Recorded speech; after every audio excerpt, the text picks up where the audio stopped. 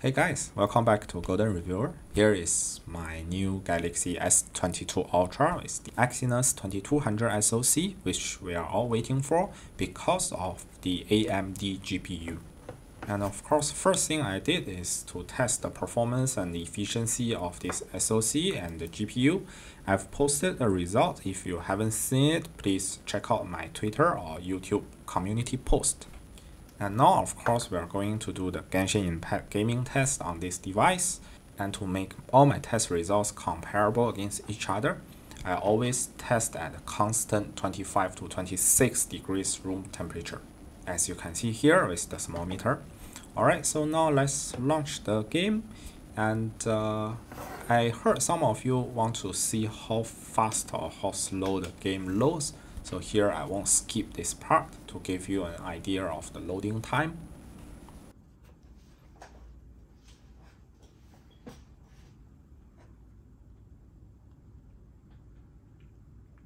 Alright, so now we are in the game. You see the game actually loads pretty fast, which I think is a good thing. And uh, now let's take a look at graphics settings because this is a flagship device, so I'm going to use all highest graphics settings plus 60 FPS. So you can see that here, everything is set to highest. And uh, yep, so let's go to the test. Just like all my previous tests, we'll play the game for real for 10 minutes and I'll show you the real-time FPS and power consumption at the bottom of the video. So if you are interested, watch the full footage. Otherwise, skip to the end of the video where I'll test the device temperature and uh, give you a conclusion on the performance and efficiency. Alright, let's go.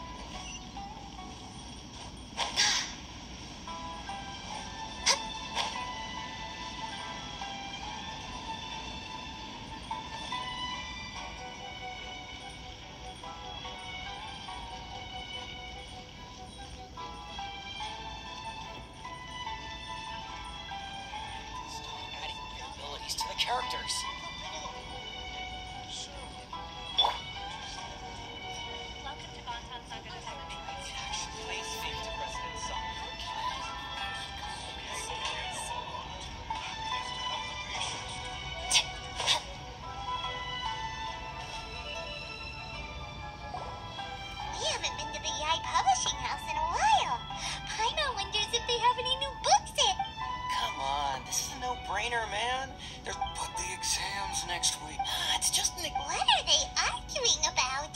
It's quite a sp- Huh? Rick, you need but stand on this. Looks like you guys. a wish ritual, right? It's this guy called. I heard it directly. His whole bed was filled with. Of course, whether you believe it, if you're still feeling. sc- Really?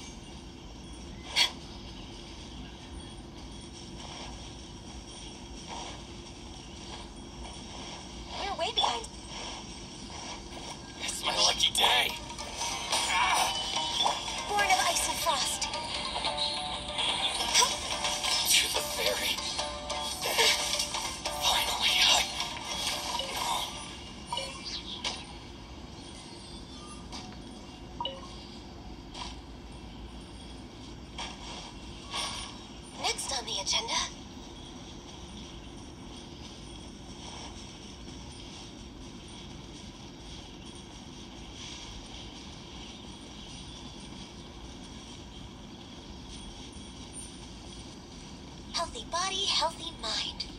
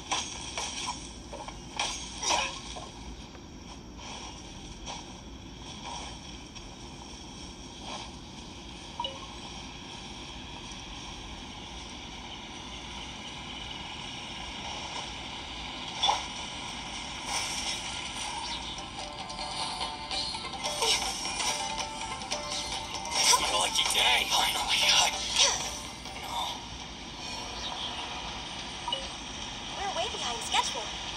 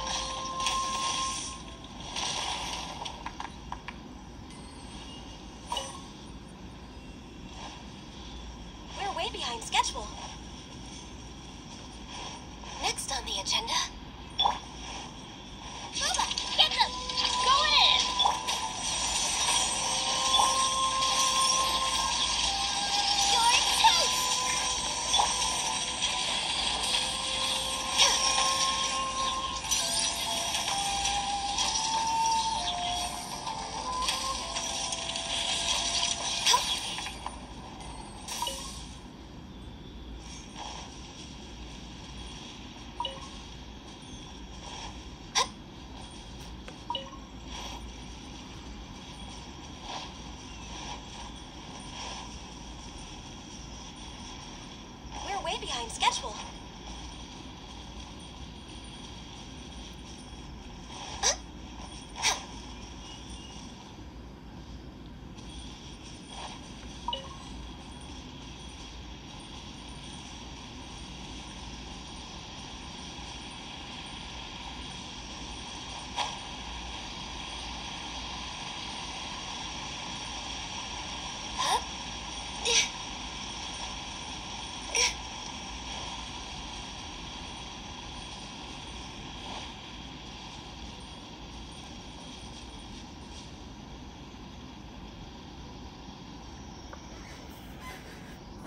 Alright, now after 10 minutes of gaming, let's test the device temperature.